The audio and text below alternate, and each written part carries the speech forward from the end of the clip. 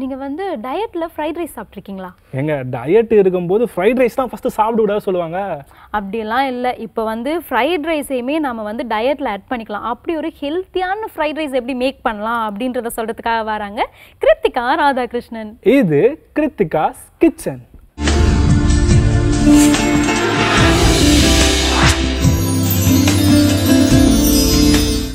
Morning இன்னைக்கு நம்ம வந்து கிருத்திகாஸ் கிச்சனில் பார்க்க போகிறது வந்து கீன்வா ஃப்ரைட் ரைஸ்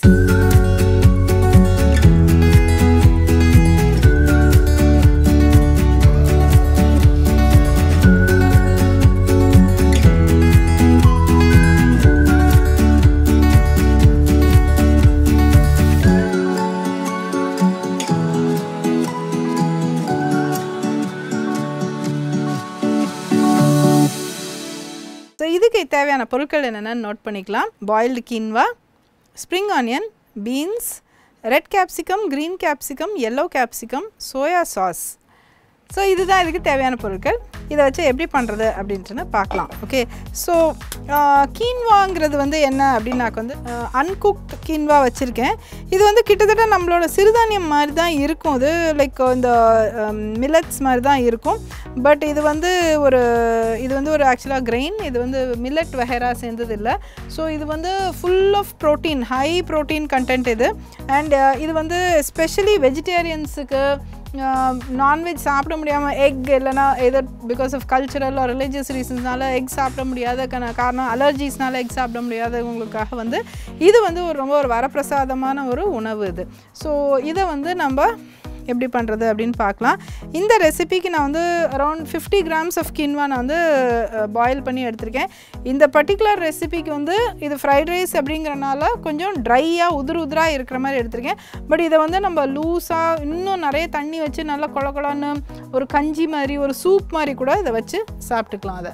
ஸோ இங்கே வந்து நம்ம பார்த்தோம்னா இங்கே ஸ்ப்ரிங் ஆனியன் எடுத்து வெங்காயத்தாள் இலையும் இருக்குது அந்த இதுவும் இருக்குது வெங்காயமும் இருக்குது சேர்ந்து இருக்குது அதோட இந்த ரெசிபிக்கு ஒரு கொஞ்சம் கான்டினென்டல் ஃப்ளேவர் கொடுக்கறதுக்கு ஒரு லீக் எடுத்திருக்கேன். இந்த லீக் வந்து ஆக்சுவலாக அதோட இலையிலேருந்து ரொம்ப ஃப்ளேவரியாக இருக்கும். தக்காளி சூப் இதெல்லாம் பண்ணும்போது இதை போட்டால் ரொம்ப அருமையாக இருக்கும் அது.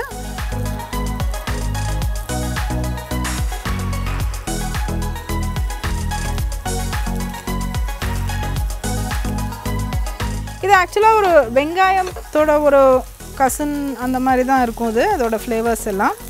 ஸோ வெங்காயம் ஆச்சு பீன்ஸ்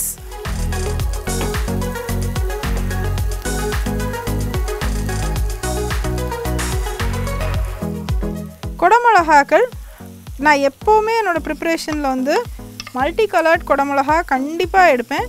ஏன்னா அது வந்து இந்த நிறமிகள்ங்கிறது வந்து டெய்லி லைக் கொஞ்சம் கொஞ்சமாக நம்ம அதை நியூட்ரிஷனில் சேர்த்து சேர்த்து நம்மளுக்கு ரொம்ப அது எஃபெக்டிவாக இருக்கும். நம்மளுக்கே அது தெரியாது எங்கே எஃபெக்டிவாக இருக்குன்னு பட் ஆனால் maybe you can find out at ஒருத்தர் சாப்பிடாம இருக்கிறவருக்கும் தட் இஸ் இந்த மாதிரி நிறமிகள் நிறைந்த உணவு சாப்பிடாதவருக்கும் சாப்பிட்றவங்களுக்கும் இருக்கிற வித்தியாசத்தை பார்த்தா நம்மளால் கண்டுபிடிக்க முடியும். இப்போ வந்து காரத்துக்கு இதுக்கு பெப்பர் ஆட் பண்ணிக்கலாம்.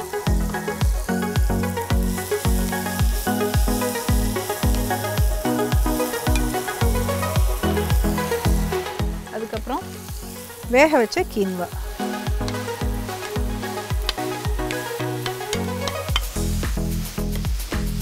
ஸோ இது அப்படியே ஒரு நல்லா இப்போ நம்ம இதுக்கு வந்து சால்ட் மட்டும் செக் பண்ணிவிட்டு ஆட் பண்ணிடலாம்.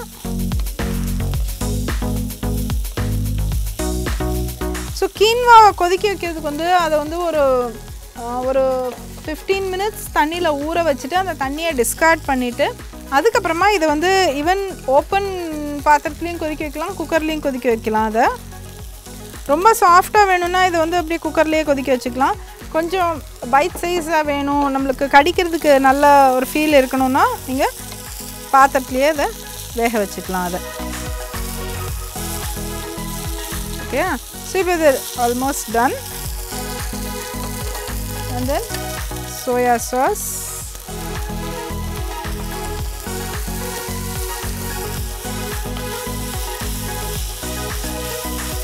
so இது ரெடி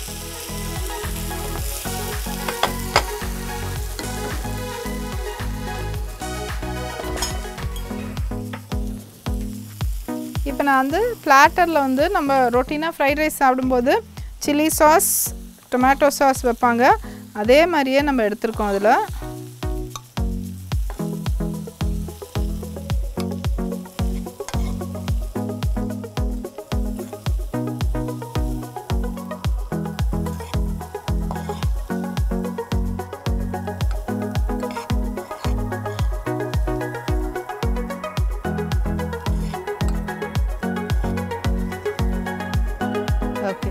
ஸோ இது பார்த்திங்கனாக்கா ரொம்ப யம்மியான fried rice with quinoa ready and I'm sure you really gonna enjoy it so tip number one என்ன அப்படின்னாக்கா ஓகே உங்களுக்கு கின்வா இல்லைன்னா நீங்கள் வந்து இது தாராளமாக கோதுமை ரவை வச்சு கூட செய்யலாம். கோதுமை ரவையில் வந்து பெரிய சங்க்ஸாக இருக்கிறத எடுத்துக்கோங்க. ரொம்ப ஈஸியாக வரும் அது.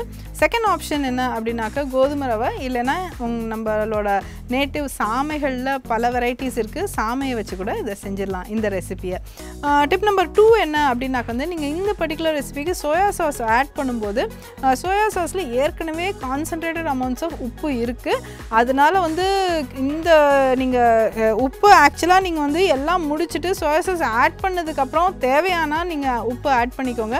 அதுக்கு முன்னாடி நீங்கள் உப்பு ஆட் பண்ணிட்டீங்கன்னா சரியாக உப்பு ஆட் பண்ணிட்டீங்கன்னா சோயா சாஸ் ஆட் பண்ணாலும் உப்பு அதிகமாகிடும் ஸோ அது வந்து நீங்கள் ஜாக்கிரதையாக இருந்துக்கோங்க. டிப் நம்பர் த்ரீ வந்து இது நீங்கள் வந்து பேக்ட் ஃபுட்டுக்கும் எடுத்துக்கலாம். அதே மாதிரி இந்த கீன்வா வந்து நீங்கள் பிளெயினாக நீங்கள் சாப்பிட்ணுன்னாலும் வந்து ரசம் கீன்வா வந்து ரொம்ப யம்மியான ஒரு டிஷ் இது ஆக்சுவலாக ஒரு இந்த மோரில் இந்த டப்பர் வேர் மாதிரி வரும் இல்லையா? அதில் நீங்கள் வந்து கீன்வாவும் ரசமும் போட்டு நீங்கள் எடுத்துகிட்டு போனீங்கன்னா அதை சாப்பிட்டா வேறு எதுவுமே வேணாங்க. அவ்வளோ டேஸ்டியாக இருக்கும். So I have given you lot of alternatives and இந்த கீன்வாக்கு இன்னொரு ஒரு ஆல்டர்னேட்டிவ் ப்ரிப்ரேஷன் உங்களுக்கு கொடுத்துட்டேன் டிப்ஸில் so have a nice day and till we meet you again tomorrow